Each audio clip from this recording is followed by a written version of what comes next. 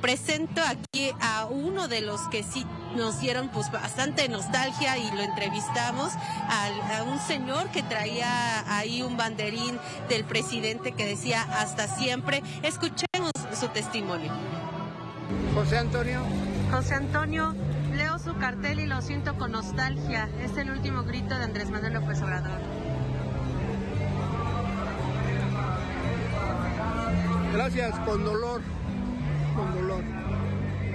Sí, porque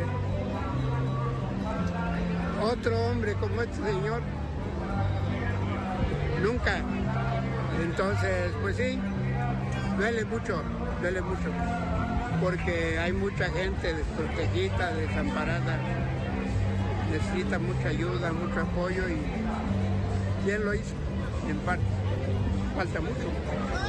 ¿Qué le diría si lo tuviera enfrente? Gracias. Muchas gracias. Y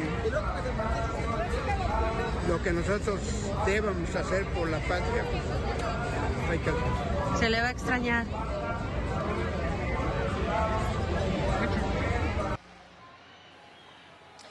Y bueno, Juan Pablo, de este tipo de testimonios, varios los que hemos encontrado en esta Ok. zona.